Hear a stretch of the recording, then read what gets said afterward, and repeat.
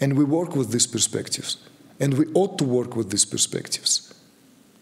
The aerial perspective, the POV, as it were, of cosmic consciousness, of the universal consciousness, and deeply, intimately individual,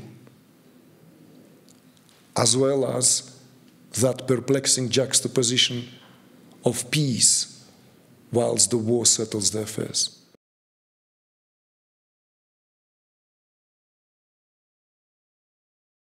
Leo Tolstoy's War and Peace is universally acknowledged as one of the greatest classics of the 19th century. In fact, it enjoyed the work, enjoyed its recognition almost as soon as it was published. Composed sometimes in the 60s of the 19th century, and roughly 100 years before I was born, it was published first in the Russian Good Messenger periodic, and then a few years after as an independently standing novel. It was called a novel and one of the biggest novels. For those of you who may not be famili- not familiar with the work, it contains 2,000 personages, characters. It traces the life and intricate interaction of five families in Russia at the time of the Napoleonic Wars, particularly coinciding with the Napoleon's campaign into Russia, which, as you have known, which, as you know, has failed spectacularly. And Tolstoy himself was not uh, in agreement that it should be called a novel. He did not consider it to be a novel. He even wrote in his in his own exposition in one of the journals that it's neither a novel, nor it is a historical chronicle, nor is it a poem. Because the work brought something new entirely. It was an attempt to, by an author to bring a synthesis of everything that he has gotten to know and experience up to that point. And those of you who are familiar with that work, and it's a very voluminous, and fortunately now day and age, none of us can afford reading it. It's just, it's just huge. It's Bible thick, huge. It was published even in Russian in four books, in four volumes. It was translated into at least, if I am not mistaken, into seven or eight languages immediately upon its publication into Russian and gained tremendous cult like status, particularly in England, France, and Germany. The work had an immense impact on the intellectual life of Europe, beyond Russia, way beyond Russia. It comprises of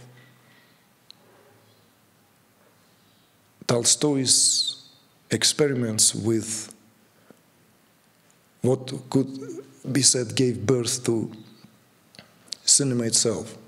This is way before the cinema came into existence, even though the, some premonitions of that were given through the experiments in photography. But this precedes that way before the first first footage. And I don't know how many of you know the very first moving footage ever was that of the Russian Tsar's family. It's the first historically footage in terms of working of that magic of the screen on, I mean, on the camera on the screen. And it is extraordinary how Tolstoy managed to become a master at his experiments, which arguably were a thing in vogue circa mid to late 19th century, or second half of the 19th century, where this new way of writing almost premoniting the rise of cinema, a very different way, literally panning, zooming in, giving characters these angles and views that have not been found in world's literature prior to that, world's literature prior to that. So it's not surprising that War and Peace enjoyed many renderings on the blue screen, as well as being turned into theater play, into um, many other art forms.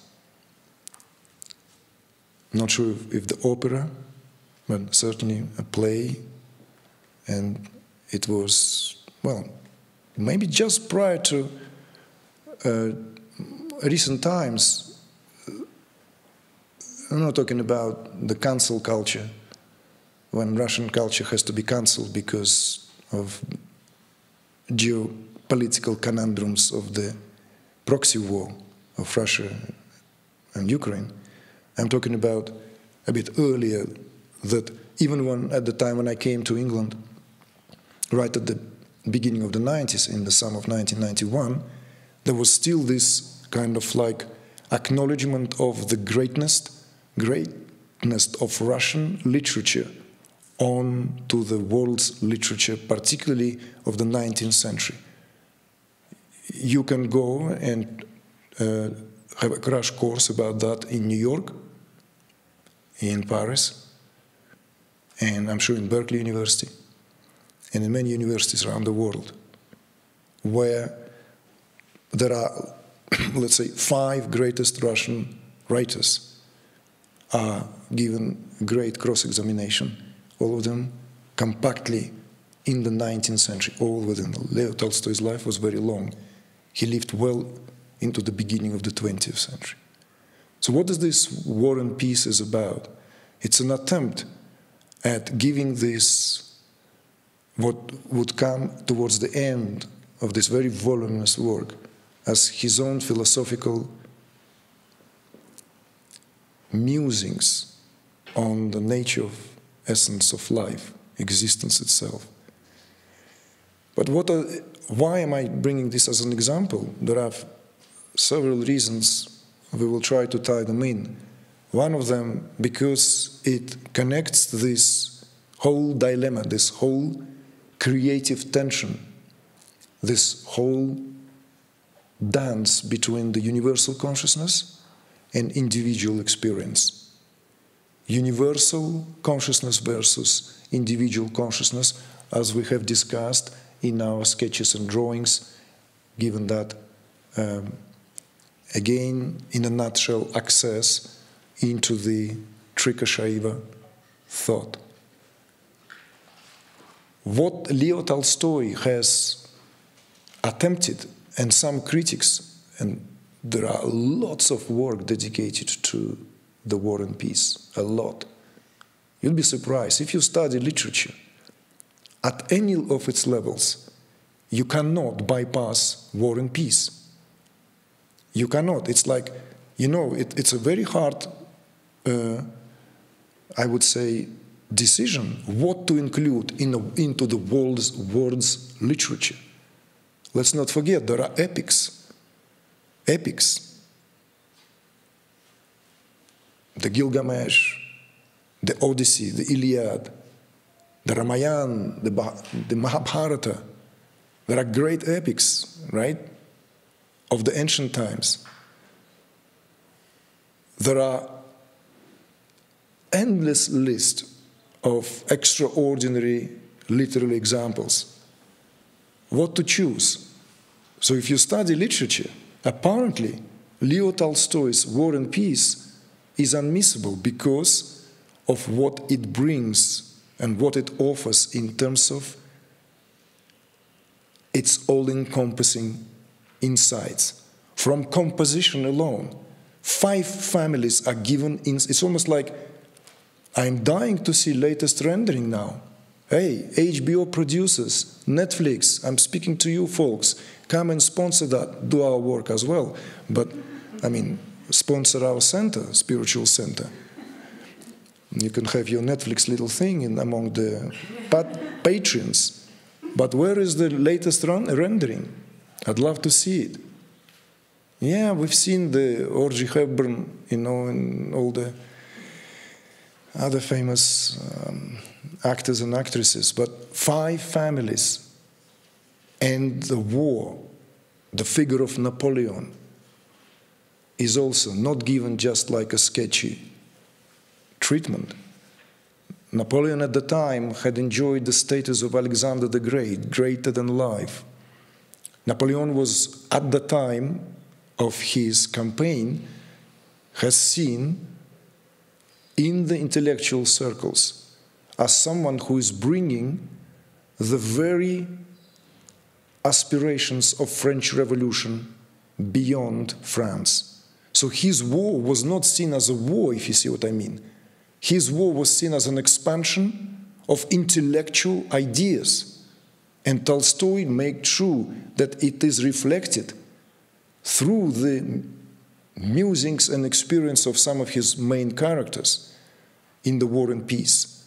Because that's what he does. He gives these five families key characters, all of whom are affected by war and interrelationships. And this is where we're going back now to why is it important as an example, extensive that is example of, let's say, what we have spoken so far, is that Leo Tolstoy manages masterfully to give this perspective, aerial, God POV like perspective on the events as well as deeply, intimately personal, psychological in nature experiences of each of its characters, of the main characters, that is.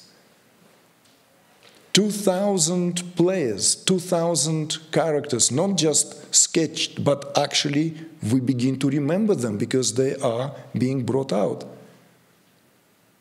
throughout lengthy passages in untranslated French, for the Russian versions, obviously supplemented with the notes. Aristocracy of the time in Russia did not need that. Russian aristocracy spoke French first, Russian second. This is probably some of you know. Not German, even though lots of, like since the Catherine the Great, it was known that Germans, as in terms of their in terms of their minor royalty, became the head of the Russian state, like exemplified in Catherine the Great. But don't get confused. We're not talking about the history of Russia. I hope you're getting the drift. It's the capacity, the ability, the audacity, and the revolutionary way with which Tolstoy manages to give these simultaneous perspectives. Simultaneous perspectives whether this is a perspective of Andrei Bolkonsky, one of its main characters, which somehow very hard not to fall in love with because it's like almost an embodiment of that integrity. It's like a Keanu Reeves of our time if we are to kind of like, you know, uh, think of Keanu as that Matrix, not so much John Wick, you know. John Wick is a terrible, terrible terrible thing. Uh, it's the only reason it's watchable is because it's Keanu.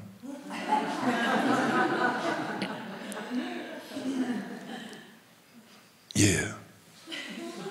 So, this character, Andrei Bolkonsky, whether this is the moment when he lays down on a field, this after one of the bloodiest battles, and he doesn't know whether he's alive or not. Something, it's experience across borders where he questions whether this is what he is now experiencing an experience of another realm. Is he transiting? Is he alive? Is this real experience or not? He's lying down there wounded terribly. And he sees these clouds that passing through him, not through him, through the, through the battlefield, these gray clouds mixed with smoke. And he hears the sounds.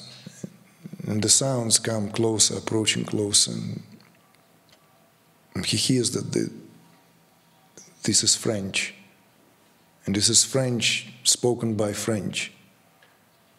And this is the time when the main character of the book, having this encounter with that man who was encompassing the will of nations at the time, because Napoleon himself is going through the battlefield in a surround, surrounded by just a few of his trusted adjutants and generals, examining, looking, and they standing in right at the body of Andrei Bolkonsky.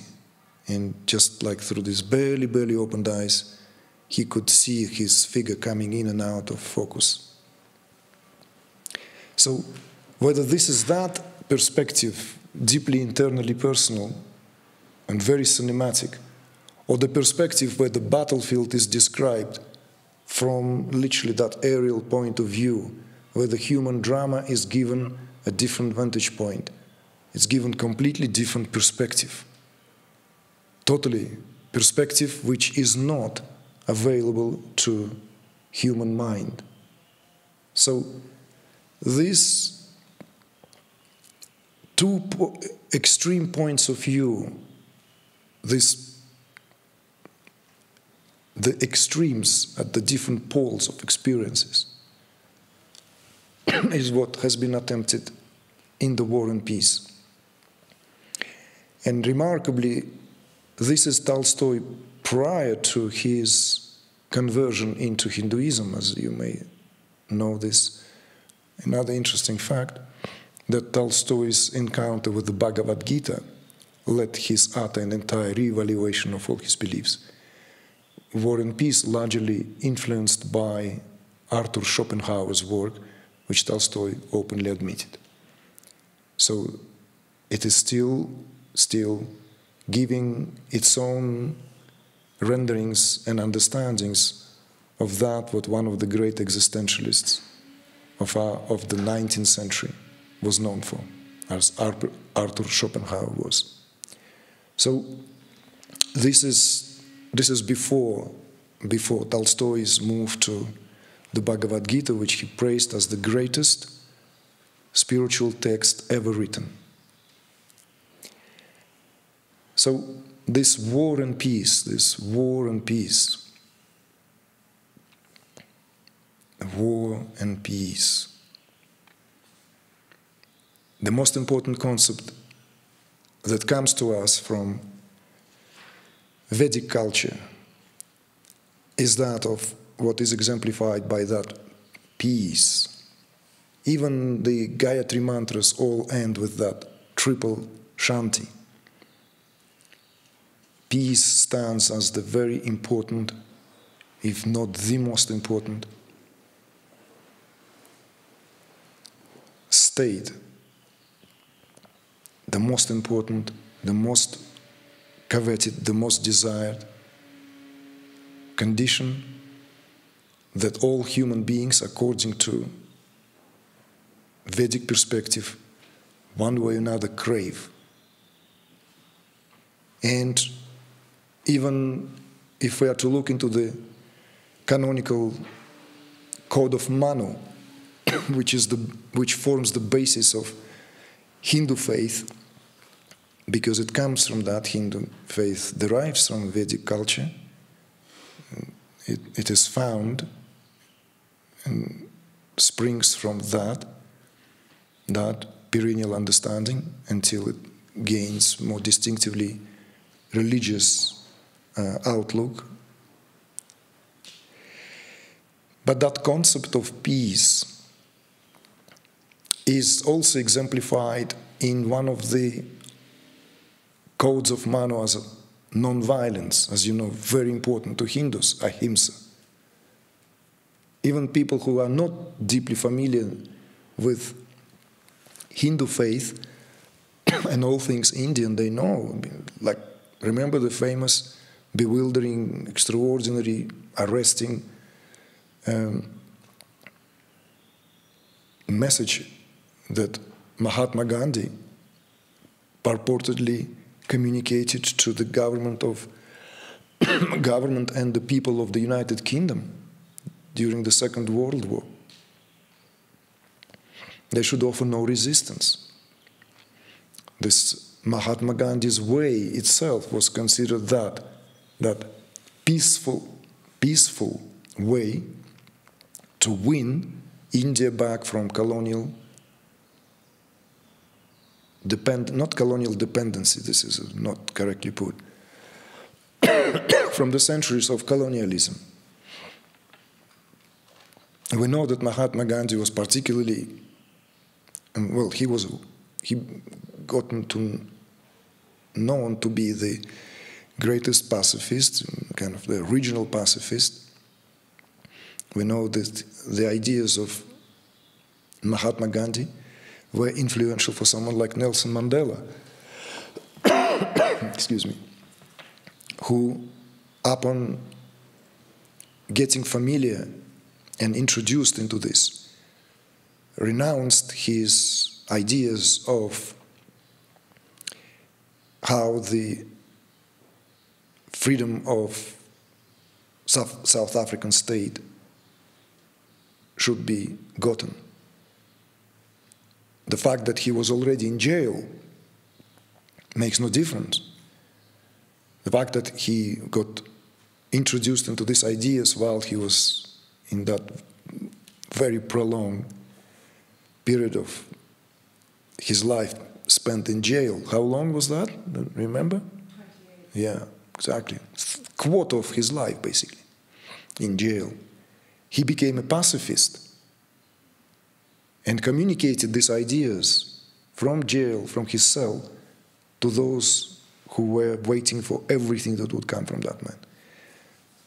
And of course, these ideas were ideas that Mahatma Gandhi was coming up with. They are not Gandhi's ideas. These are the very, very principles of ahimsa in action, non-violence, that even to combat violence, non-violence is the only way to combat it.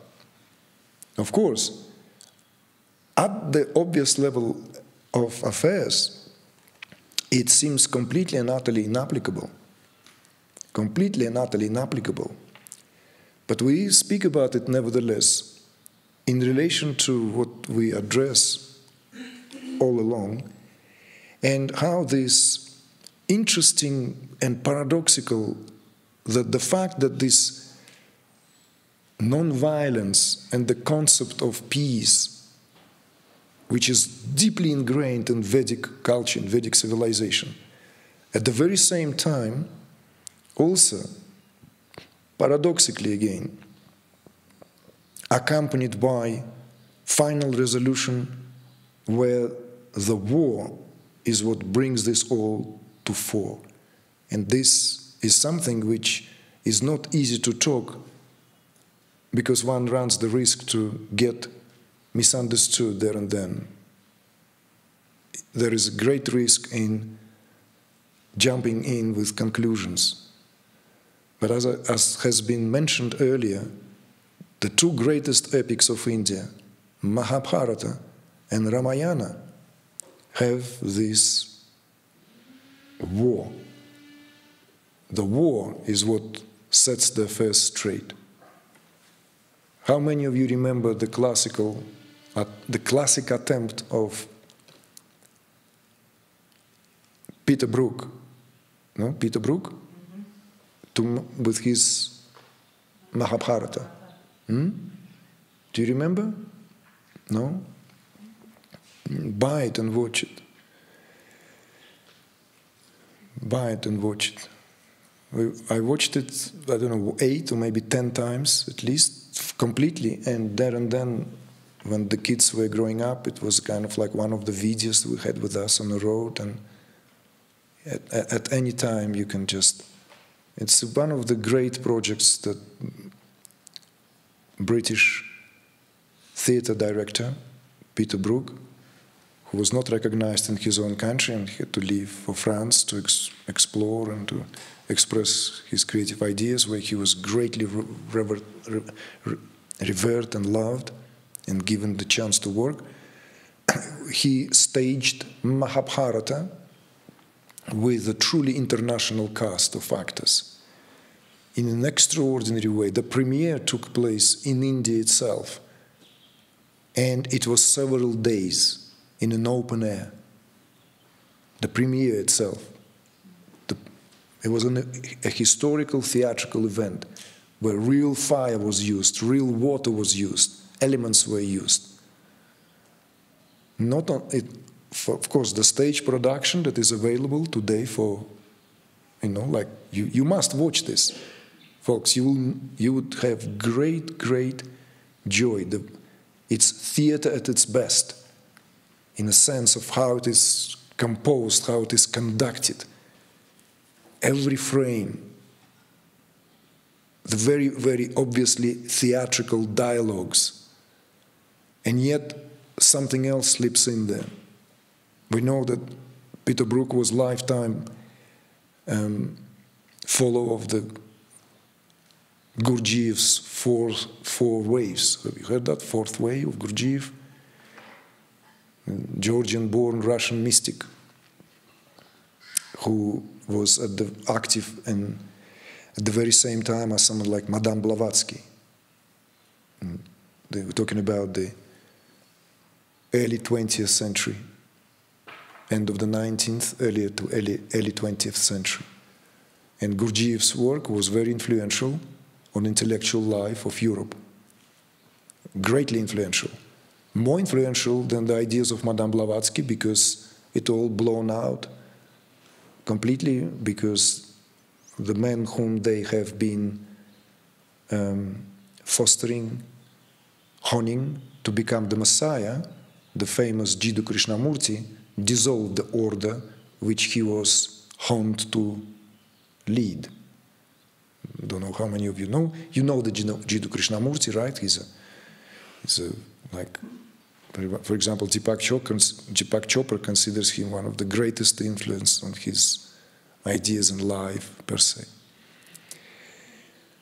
So, Peter's Brook Mahabharata mm, deals with this beautifully, you know, because of course it, the, the whole dilemma, the whole conflict just taking us back now to why am I thought this is relevant to bring here may become clearer, may become apparent, or it may just sow a seed of your future contemplation, reflection. So, this paradoxical coexistence of emphasis on shanti, on peace, as the highest achievement, it is in peace that all spiritual practices meant to culminate. Peace is indistinct, like it's not something that is can be considered of as one off. If there is no peace, then what good all this is about? Nothing. If it, didn't, if it does not bring us peace, if whatever we do does not bring us peace, peace, then, then everything is in vain. So that very concept of peace is crucial. So look at it now immediately, like change that perspective, that your individual perspective, and look at the global state of affairs. Look at the world at large. Let us change that POV. Let us zoom out from our own problems, from our own let's say, attempts at our own longing to bring that lost paradise, which is what it means, to attain that everlasting sense of peace, into the, let's say, more aerial perspective. All these peace initiatives in the world, every time there is a war, and the last World War, World War II, prompted the formation of such organization as United Nations. Is it not? Don't take my words for granted. I'm not at all that versed in all this. I just hear things, you know, like I remember something and I throw it in. Wasn't it formed at the end as a result, as an outcome of the tragedy of the Second World War? An attempt was made, a collective attempt among the nations to come up with something, with some institution that will safeguard peace, is it not? How are they called? They're called peacekeeping forces. No? Peacekeeping forces, that's what they're called. They, mon- they meant to interfere during imminent possibility for an open conflict which will result, as we know very well, as it repeats itself constantly, to loss of human life. And in this respect, particularly the loss of those who are not at all even politically oriented or involved, simply happens to be the casualties of war. Civilians. This is not, we're not talking about men or women in some countries they serve and you wear uniform, who die in the battlefield. Well, I'm sorry, from epical point of view, that's a glory. Dying in the battlefield at the time of performing your duty is considered to be an auspicious death. And that's not only only trying to tap into some of the jihadist ideas. This is, can be found in absolutely every culture. Tell me one culture which did not, did not, not just justified, but did not glorify the one whose duty is to defend the livelihood of its people. Please give, do me a favor before I get really, really ticked off. Coming to lunchtime. So tell me, please. Give your best shot. Native Americans. the whole point was that.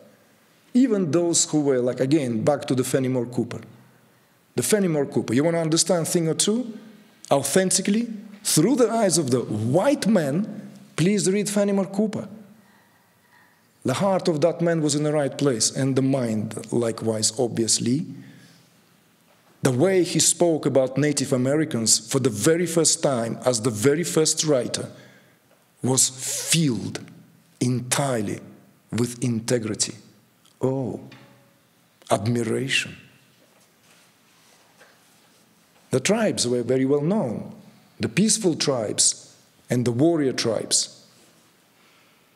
The Mohicans were the peaceful tribes, for example. The Lavaras, Mohicans, they were peaceful tribe. Their occupation was not war. Their business was not war. Sioux were. Gurons were. They were known as war tribes. Their sole occupation was war. And yet, in those tribes who were considered to be peaceful tribes, they always had men trained, trained to the highest degree of combat. They were all accomplished warriors. That's the story of the last of the Mohican. When the Uncas, the son of the last great chief of the Mohicans, gives his life to save the life of two women who were captive, captives of this member of the Gurons tribe who were causing trouble there deliberately, for a, not just for a ransom, it was much more involved.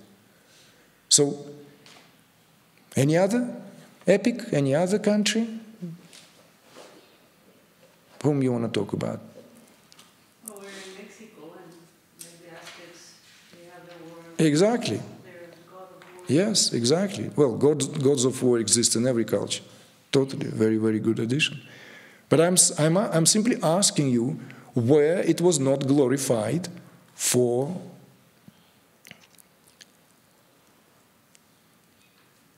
sons of fathers giving their life in defending the livelihood, lives, and the country of whatever culture that happens to be. I'm just asking to acknowledge this. In ancient Greece, mother sends her son to battle with only one sentence with the shield or on the shield. With the shield or on the shield, because in ancient Greece, the dead were carried on their shields. The shields were large, different shapes, but they were large enough to carry human body. The mother gives blessing. This was the way of life. Kali Yuga, what have you? We're trying to establish something here. We're trying to locate something here.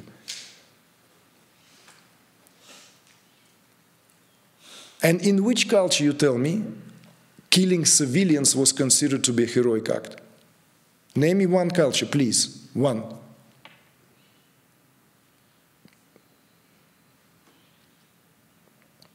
I'll give you help. I'll chip in with my knowledge, patched up, dusted.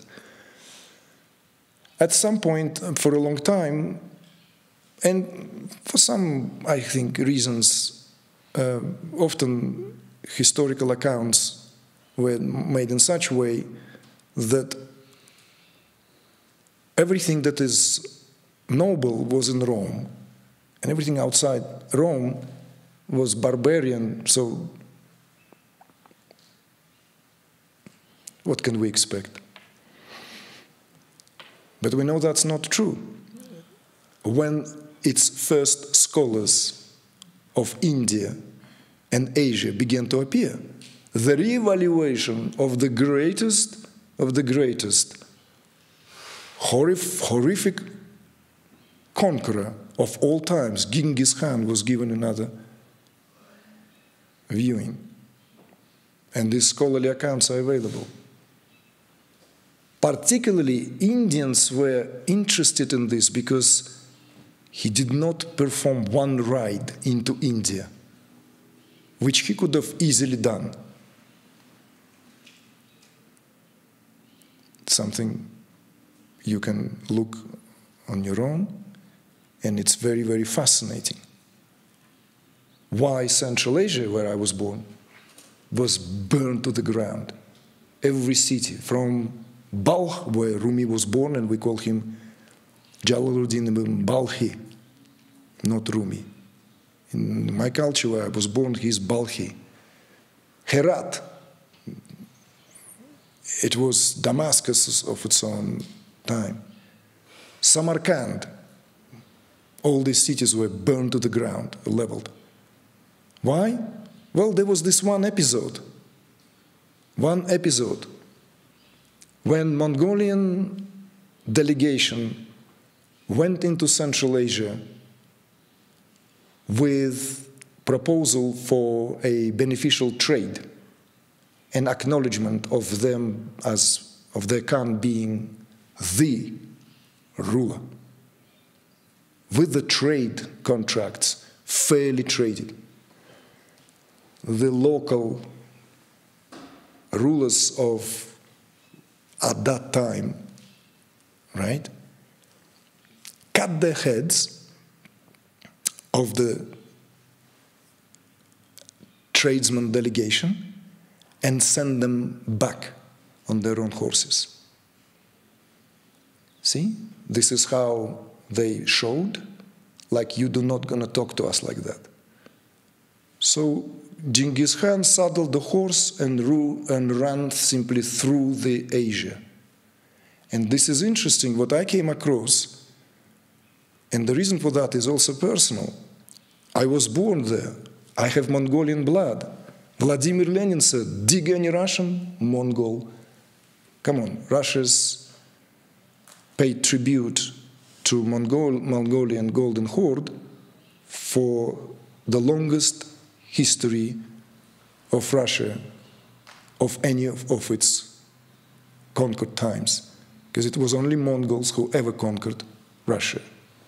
And during that time, which lasted centuries, Russians had to pay a very heavy price until they managed to shook off the Golden Horde. But that, of course, resulted in very rich DNA reshuffling and mix and everything. That's what Vladimir Lenin's uh, uh, kind of uh, known saying is that, you know, копни любого, Рашу, копни любого русского, татарин, dig any Russian deep enough, there's Mongolian blood. So not only because of that, but in London I've met and befriended the descendant of the Genghis Khan, Prince Jizar Giray, with whom we became great friends for many, many years, who was brought to England at the age of eight, studied in Oxford, and lived pretty flamboyant life. He was a socialite. And BBC made a documentary of his return to Crimea because this is the last place where the remnants of the Golden Horde, which broke to. So there was always interest, and I was very curious. In Russia, we have this three trilogy on the way the Mongols conquered the world, because they did conquer the world, any the known world at the time. They went as far as the Budapest, and they, his, many historians agree that it was Russia and Russians, in terms of its geographical location, that served as the buffer zone. Otherwise, otherwise, maybe there will be no Le Mago and no Salvador Dali attending the surrealists' gatherings in Paris. We don't know. But what would stop them to run across through the whole entire Europe if they did that through the entire known world at the time, all the way to Egypt. They sacked every single city on the way, but they did not venture with war into India. And this is what Indian scholars took to, took to tackle, which brings this fascinating, uh, fascinating reevaluations of how what is considered to be unjust. You see, Going back to where we have started here, and as I said, a lot of this may sound perplexing, and you are left to your own devices to make sense out of it. So, this war and peace, this provocative but not provocative, that title existed prior to Leo Tolstoy. War and Peace already existed in at least two works in French literature one philosophical and one literally. So, this, when we speak about the, let's say, the greatest epics of India, Mahabharata, and the first one, Ramayana, because that's the sequence, we are perplexed to learn that things are settled through the war. Rama was born to free the world from its greatest demon, Ravana. That's the leitmotif of the incarnation of Rama, who is considered to be one of the Mahavatars. And these Mahavatars, if you look into this, it's the exposition on the evolution of consciousness. Vishnu take different forms, different forms. Vishnu as turtle, for example. Vishnu as half human, half animal as Narasimha, Vishnu as the nearest to us Krishna, a fully formed God, fully fledged God. But altogether they were known as ten Mahavatars, with the tenth as like leaving it in suspense, any time to arrive, maybe among maybe amongst us, maybe on his way, but he's apparently supposed to come on a horse, and this time he's coming as a warrior again. He was a warrior in one of his, in two of his incarnations. As Parashurama, prior to Rama, slayer of Kshatriyas, and as Rama, that famous Rama, that famous Rama whose Sita was abducted by Ravana and that sets the leitmotif for Rama to fulfill his destiny, of which he doesn't know. He doesn't even know he is Vishnu. That's the whole point. He doesn't know he's an incarnation of Vishnu. All he knows he is a prince of Ayodhya. He's a prince of a prosperous province in India where he is to become a young king in the making, only to learn that he needs to go into exile for 12 years. And his brother Lakshman and his newly wed wife Sita accompany him. So everything is, seems to be like just unfoldment of the epic. All this is, of course, result of some treachery within the affairs of the court, where the youngest wife, Kaikeyi, whose mind is perturbed by these very demonic forces, demands from the king, who on the eve of the announcement of Rama's king in the making, demands fulfillment of one of the promises he gave her, and her request is to banish Rama to the forest so that the youngest born in the family, who is her son, to succeed on the throne. this is the leitmotif. And of course, Ramayana is meant to be read even as at the face value of what it declares at its first opening pages. That Ramayana as a scripture, which is composed on the request of no one but Lord of creation, Brahma himself, and the appointment received by the greatest sage of the time, Vedavyasa, who delivers. And it is said at the opening pages of Ramayana that mere reading of the verses of these passages of this epic of the Ramayana is freeing oneself from all the accumulated sins and even advising, encouraging someone to read this causes tremendous benefits and boons from the divine, from the divine beings, shine, shining beings. So of course all this can be dismissed and all this could be seen like, oh, this is the, this is the usual normal routine PR. It's done back in the ancient times. But there is something to it and I that attest to it. I read Ramayana during my years of sadhana. I never read it before. I've heard about it, this, that. There was this, it's coincided with the publication, fresh of the print, with the modern rendering by Ramesh Menon and I could not put the book down. And I was considering myself already that, well, two years into sadhana, I was like wetting the pages of the book with my tears. Wetting it.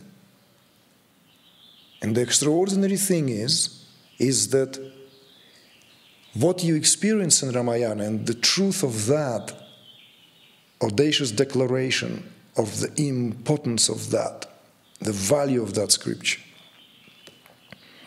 Isn't that by encountering every character, every single character touches certain aspects within our psyche. We connect with that aspect which prior to that we may have bypassed, ignored, preferred it doesn't exist, simply were unaware.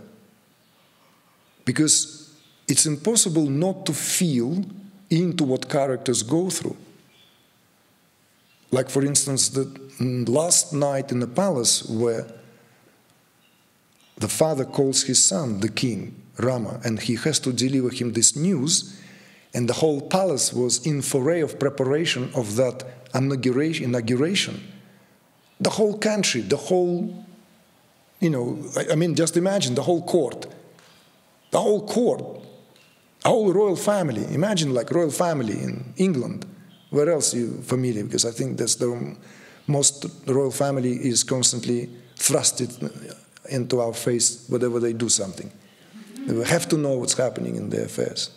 You seldom hear what the royal family in Spain or um, Netherlands do, but we need to know what's happening in the royal family of Great Britain.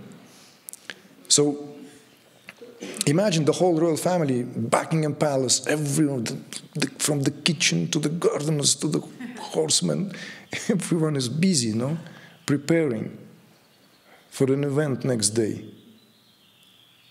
I'm just saying, okay, on a smaller scale, more modest, of course, because Ayodhya was just an Indian province at the time. You know, they were not a colony for several centuries, you know, milking every single country and, you know, bringing all that wealth and like wherever you walk in London, in Mayfair and down to the Piccadilly, and your jaw drops from the sheer amount of wealth on every single building until you visit Windsor Palace for its collection of art and irresistible that is. I'm, I'm talking to myself. Irresistible to talk about this. And the father calls his son and his son is just like okay he's just like imagine blushing preparing his next this this is the most important day of his life. He's to become announced as the heir to the throne and there's a term yuvaraja so he is like prince in the making, but he's already announced as the king. You see?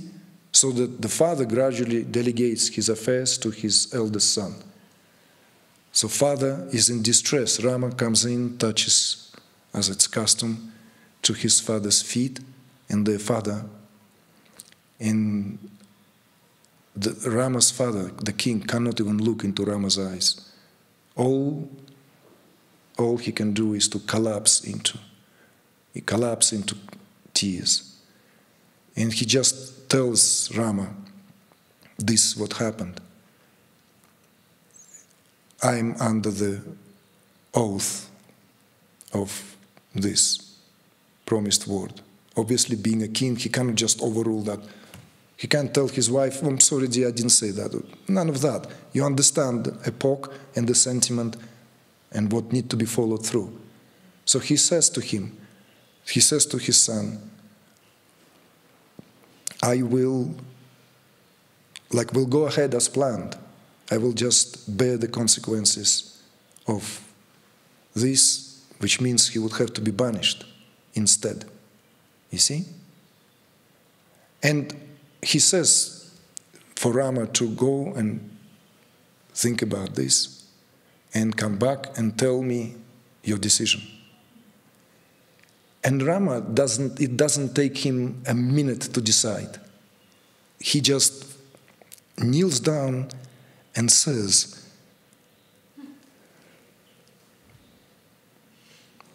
that these are men, this is what men were made of. This is why Rama, there as an exemplar, exemplar, example of the true value of integrity, of being Ram, that quality. There's no need to think. There's no need to reassess the situation. Not, he's not stupid.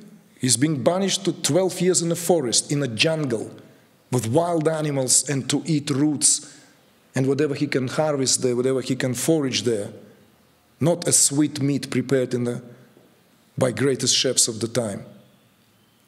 He knows it all there and then. Instead of becoming a king, he's going to become a mendicant in the jungle. But it takes no time to make this decision on the spot, only to bow to his father and walk out of the room, relieving his father from this torment. Of course, it doesn't relieve the father from the torment.